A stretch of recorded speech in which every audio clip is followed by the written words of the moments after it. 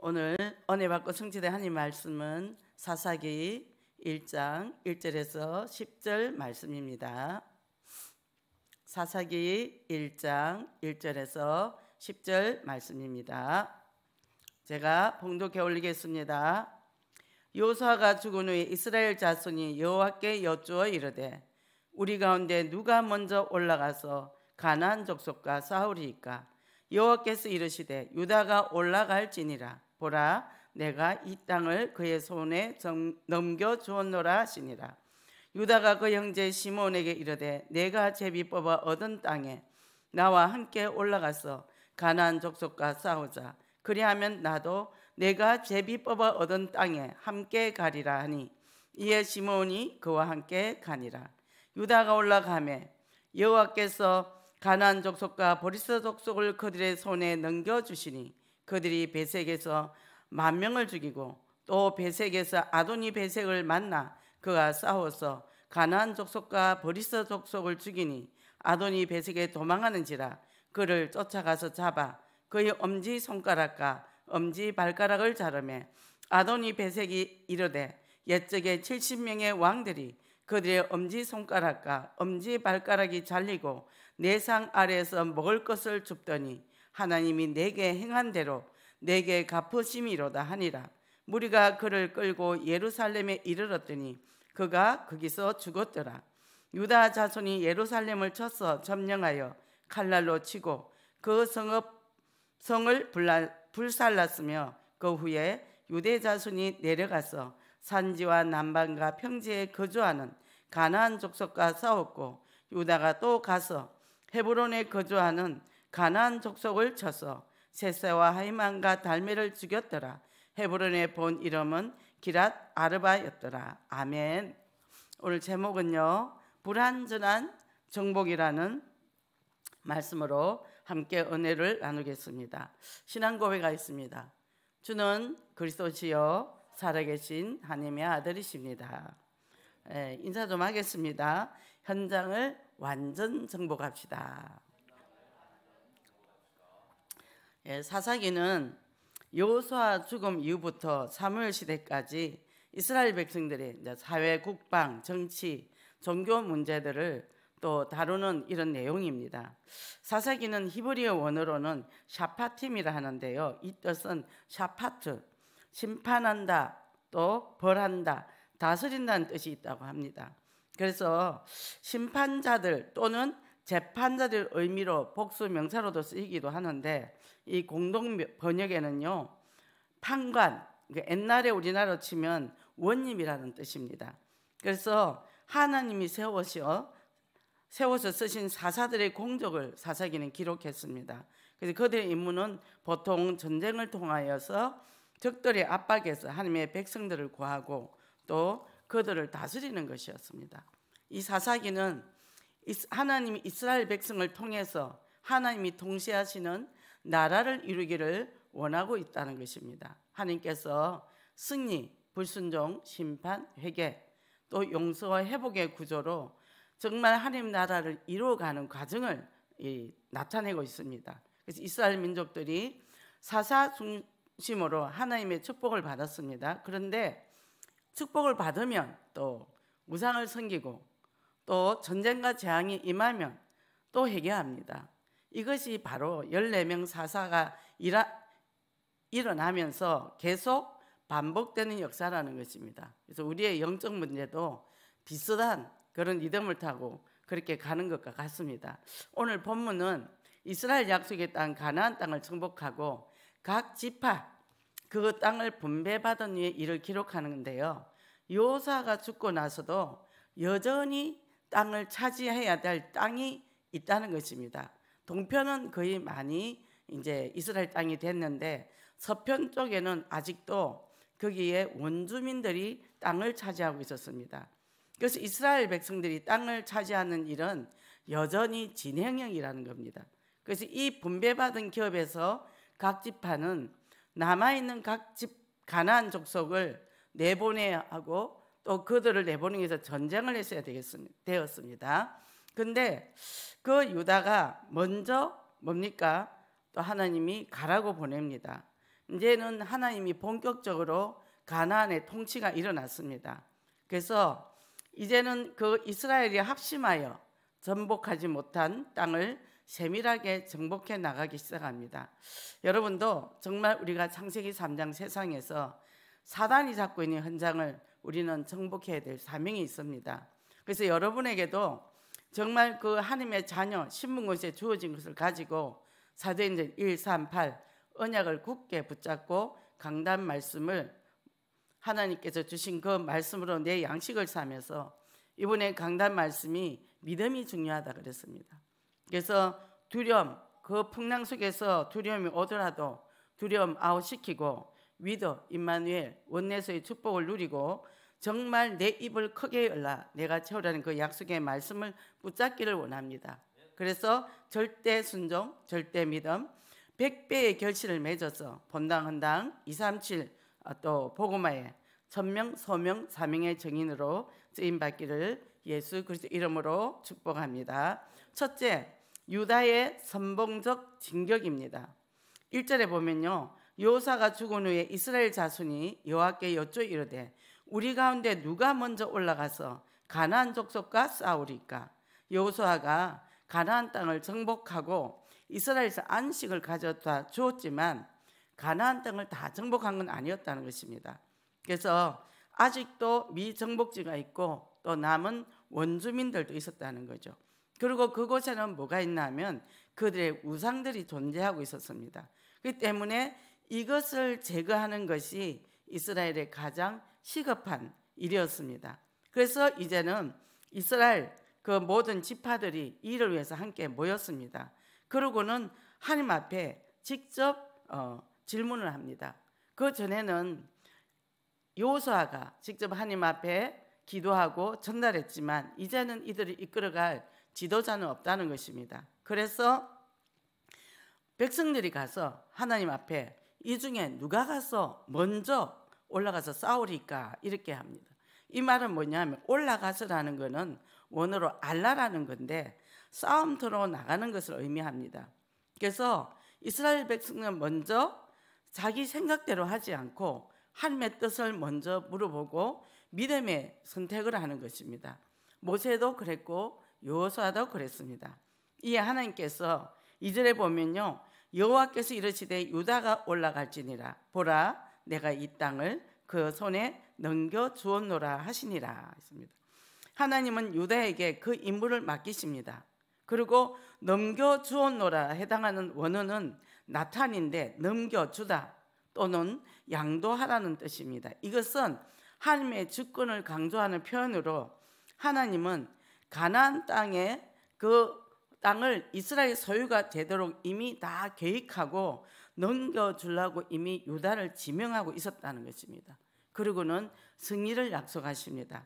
그래서 3절에 보니까요. 유다가 그의 형제 시몬에게 이르되 내가 제비 뽑아 얻은 땅에 나와 함께 올라가서 가나안 족속과 싸우자.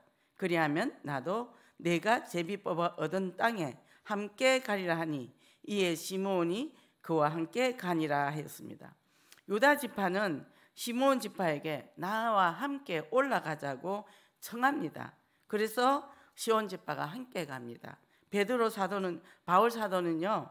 로마서 8장 28절에 보니까 우리가 알거니와 하나님의 상을 사랑을 입은 자 곧 그 뜻대로 부르심을 입은 자들에게는 모든 것이 협력하여 선을 이루느니라. 여러분도 이 하나님 일을 이루는데 서로 협력해서 힘을 합치면 능히 감당할 수 있습니다. 사절에 보니까요. 유다가 올라가매 여호와께서 가나안 족속과 브리스 족속을 그들의 손에 넘겨 주시니 그들이 베섹에서 만 명을 죽이고 이랬습니다. 이스라엘 백성들은 하나님께 기도하고 응답을 딱 받고 그리고 뭡니까? 시몬과 함께 전쟁에 나와서 싸워서 승리를 했습니다. 전쟁은 하나님께 있습니다. 이 소년 다윗이 블레셋 장수 골리앗과 싸울 때 전쟁은 여호와께 속한 것인즉 그가 너희를 우리 손에 붙이시리라 이렇게 어, 사무엘상 17장 47절의 내용이 있습니다. 유다는 시몬과 함께 가서 베색에서 승리하여 만 명을 죽이고 아도니 베색을 잡아 죽입니다. 하나님은 가나안 통치의 첫 승리의 장면입니다. 그래서 우리가 의지할 수 있는 분은 하나님밖에 없습니다. 그리고 그 누구도 함께 할 수 없는 상황에서 하나님은 함께 하시기 때문에 우리는 하나님을 믿고 온전한 순종을 선택할 수 있다는 것입니다. 오절에 보니까요. 또 베섹에서 아도니 베섹을 만나 그가 싸워서 가나안 족속과 브리스 족속을 죽이니 아도니 베섹이 도망하는지라 그를 쫓아가서 잡아 그의 엄지 손가락과 엄지 발가락을 자르매 아도니 베섹이 이르되 옛적에 70명의 왕들이 그들의 엄지 손가락과 엄지 발가락이 잘리고 내 상 아래서 먹을 것을 줍더니 하나님이 내가 행한 대로 내게 갚으심이로다 하니라. 무리가 그를 끌고 예루살렘에 이르렀더니 그가 거기서 죽었더라. 이 잔인하고 포악한 베색과 싸워서 이깁니다. 이 아도니 베색은요 그 개인의 이름이 아니고 그 우두머리라는 뜻, 그 지파의 우두머리라는 거죠. 그러니까 우두머리 뭡니까? 어, 그 국가로 치면 왕이 되겠죠. 그래서 이 사람들은 그 베색의 성읍의 통치자를 칭호하는 것인데 도망가는 것을 쫓아갔습니다. 그가 도망갔는데 그러고는 수독 엄지 발가락과 또 엄지가락 손가락을 잘랐습니다. 그리고는 이 아도니 베색은 비참한 처우를 받게 됩니다. 예, 저도 이거를 어, 정리를 하면서 너무 잔인하다 그런 생각을 했습니다. 손가락을 왜 자르냐? 칼을 들지 못하게 하려고. 또 발가락은 왜 자르냐? 도망 못 가게 하려고. 그래서 자른답니다. 그래서 여기서 유다와 시몬의 첫 승리로 이스라엘의 위기를 넘겼다는 것입니다. 하나님의 말씀을 끝까지 지킬 때 하나님의 목적이, 목적이 이루어지고 또 하나님의 복을 받게 됩니다. 그래서 창세기 3장 세상에서 3장, 6장, 11장 나 중심, 물꿀 중심, 성공 중심으로 교묘하게 우리를 사단은 속입니다. 그래서 우리를 유혹하지만 우리가 따라가야 될 것은 하나님의 말씀밖에 없다는 것입니다. 그래서 말씀을 온전히 순종함으로 15대 IP의 축복을 누리시기를 예수 그리스도 이름으로 축복합니다. 두 번째는 유다의 승리입니다. 8절에서 10절 내용을 보면요. 유다 자손이 예루살렘을 쳐서 점령하여 칼날로 치고 그 성을 불살랐더라. 그 후에 유다 자손이 내려가서 산지와 남방과 평지에 거주하는 가나안 족속과 싸웠고 유다가 또 가서 헤브론에 거주하는 가나안 족속을 쳐서 세사와 하이만과 달메를 죽였더라. 헤브론의 본 이름은 기랏 아르바였더라. 유다 지파는 이어서 이스라엘의 최고의 성이고 시온성이라고 하는 예루살렘과 또 에브론에 거한 가나안 사람을 쳤습니다. 그리고 이 세세와 하임만과 달메를 죽였는데요. 그들은 민수기에도 나, 어, 나오는데 아낙 자손의 거인들이었다 그랬습니다. 근데 그 전쟁에서 승리를 했다는 거예요. 이 승리는 하나님께 달려 있습니다. 그래서 성경은 사람이 전쟁을 대비해 말을 준비하지만 승리는 여호와께 달려 있다. 이렇게 말씀하고 있습니다. 이것이 잠언 21장 31절 내용입니다. 승리 하나님께서는 사사 시대까지 이스라엘 자손으로 하여금 가나안 족속과 전쟁에서 승리케 하셨습니다. 그래서 하나님께서는 가나안 족속과 싸우려는 이스라엘 자손에게 보라 내가 이 땅을 그의 손에 넘겨 주었노라고 말씀을 하셨습니다. 약속하신 대로 유다 자손에게 승리를 주신 것입니다. 이스라엘은 하나님의 은혜로 가나안 땅을 입성하였고 또 열두 지파들이 가나안에 입성을 하고 땅을 분배를 받았습니다. 요소가 죽어서 이제는 더 이상 그들 가운데 없습니다. 이런 시대를 보고 여호수아는 그토록 그 여호수아 23장 24장에 보면요. 율법의 중요함을 놓고 가난 그 백성들과 또 그들의 또 어, 지도자들을 불러놓고 계속 그것을 가르쳤습니다. 그러니까 그만큼 이 하나님의 말씀이 중요하다는 것을 이스라엘 백성들에게 알린 것입니다. 그래서 이 파블로 이제는 남은 이 백성들이 남은 지역을 이제는 정복하기 시작합니다. 그리고 이것을 가나안 족속을 완전히 제거해야 된다는 사명을 받았다는 것입니다. 요수아는 그들을 쫓아내기만 했습니다. 이어서 유다 자손이 예루살렘을 점령하고 헤브론을 점령을 해서 하나님을 동일하시고 변함없이 약속을 지키신다는 것을 언약을 잡고 이제는 끝까지 사명을 감당을 합니다. 그래서 사사기의 중심 사상은 뭐냐 하면 하나님을 믿고 의지하되 철저하게 할 것을 요청하고 있습니다. 그래서 부분적인 순종은 불순종적인 순종이라고 그렇게 강조하고 있습니다. 그것은 처음에는 조금만 어, 불순종하다가 점점 그것이 커진다는 것입니다. 하나님은 우리의 중심을 보십니다. 그래서 우리 신앙은 내 마음, 내 생각, 내 필요, 내 기운대로 하는 것이 아닙니다. 하나님의 뜻과 말씀에 따라 하는 것입니다. 오늘 나의 선택을 보면서 말씀 앞에 나의 믿음을 점검해 보시기 바랍니다. 그래서 하나님은 언제나 첫 정리, 전쟁에서 승리하게 하십니다. 그것은 하나님의 심판을 선포하는 것입니다. 그래서 하나님 앞에 패배라는 것이 없습니다. 여러분들이 이것을 믿고 또 유다와, 시, 유다와 시몬처럼 담대하게 모든 일을 시작하여 정말 영적 사실을 보고 복음으로 점령하지 못한 또 우리 237 나라 영적인 빈곳 흑암의 지역에 말씀의 운동을 펴야 된다는 것입니다. 먼저 우리가 갈보리, 감난산, 마가다라병 언약을 굳게 잡기를 원합니다. 그래서 일심 전심 지속으로 기도해서 현장 정복하기를 예수 그리스도 이름으로 축복합니다. 결론입니다.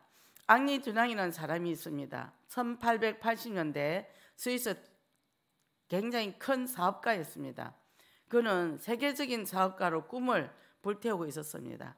당시 나폴레옹 황제가 파수지세로 프랑스 위상을 높일 때인데 두낭은 나폴레옹을 만나러 파리로 올라갔습니다. 황제를 만나러 사업 계획을 가지고 갔는데 가서 보니까 나폴레옹은 오스트리아에 전쟁을 하러 나가고 없었습니다.